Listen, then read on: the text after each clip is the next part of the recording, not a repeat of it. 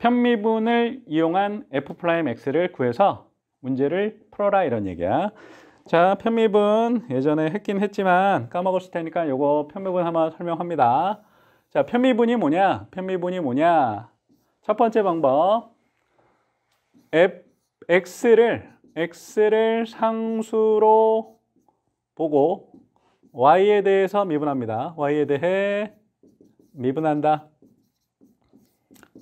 그 다음에 두 번째, 이제 y에 y에 적당한 수를 대입해서 적당한 수를 대입해서 최종적으로 f'x를 구해내는 게 이 편미분의 목적이라고 보면 됩니다. 알았죠? 자, 이런 얘기입니다. 이런 얘기야. 근데 이게 왜 편미분인지는 편미분인지는 문제를 보면서 편미분을 어떻게 해야 되는지 그래서 f'x가 해야 되는지 어떻게 나오는지 한번 해볼게. 뭐라고 나왔냐면 문제가 이런 얘기가 있어요. f x 플러스 y 이게 이제 뭐 이런 모양을 도함수의 정의라고 하긴 하는데 도함수의 정의를 하기에는 조금 이렇게 무겁잖아. 근데 편미분이라고 이해해가지고 풀면 더 편하다 이거야.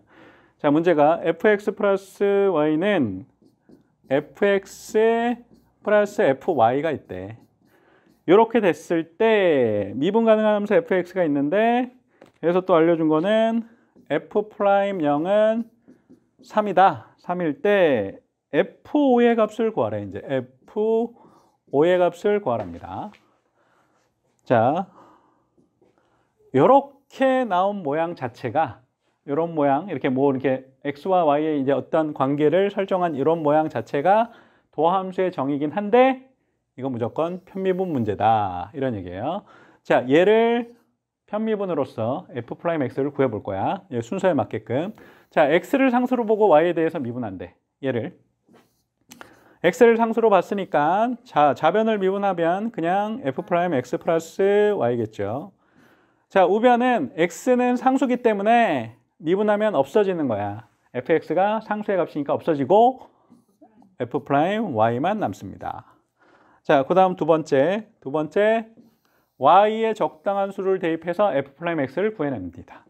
여기 y에다가 0을 집어넣으면 f'x가 바로 되겠지. 그래서 f'x는 f'x는 f'0이다. 근데 f'0은 3이라고 그랬으니까 이렇게 된 거야. 그래서 f'x가 3이다라는 것을 알려준 거지. 그리고 이제 얘를 적분을 하면 f'x를 적분을 하면 f'x를 적분을 하면 어떻게 나옵니까? 3x 플러스 c가 되겠지. 근데 이제 여기에서 여기에서 여기에서 이게 여기 이렇게 미, 적분하면 fx인데 어 선생님 fx는 3x 플러스 c는 알았어요. 근데 c를 구하는 방법은 안 가르쳐 주지 않았습니까? 여기 문제 없지 않습니까? 그런데 항상 항상 뭐라고 생각해야 되냐면 자 fx는 3x 플러스 c까지 구해냈어요. 근데 c를 구해낼 수 있는 방법은 여기에 있습니다. 여기에. 이것도 거의 거의 대부분 x와 y에다가 0을 집어넣어봐. 그러면 f0은 f0 플러스 f0 이렇게 나오겠죠. 그래서 이거 정리하면 얘네 없어질 거고 F0은 0이라는 거. 이게 거의 조금 자주 나와. 그래서 F0은 0이니까 여기 여기다 집어넣는 거야. 그래서 C는 0이겠지.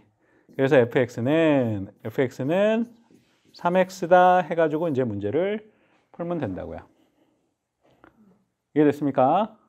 자, 이게 도함수 정의를 이용한 건데 도함수 정의를 이용한 건데 결론은 편미분으로 푸는 거다라고 생각하고 편미분은 이렇게 한다. 라고 해서 풀면 된다. 이런 얘기입니다.